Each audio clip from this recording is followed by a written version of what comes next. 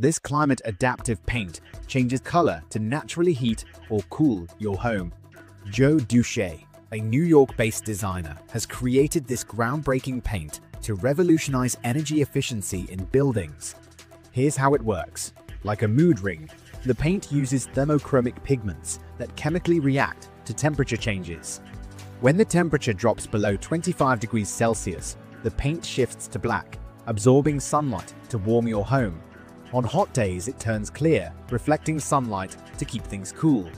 By cutting down reliance on traditional heating and cooling systems, this paint could slash energy consumption by up to 25%. And the best part, the color can be customized to match your style, proving that sustainability doesn't have to sacrifice aesthetics. Currently being tested with a pilot partner, this innovation could transform energy use in homes, offices, and more. So, would you use this color-changing paint in your home? Let us know in the comments.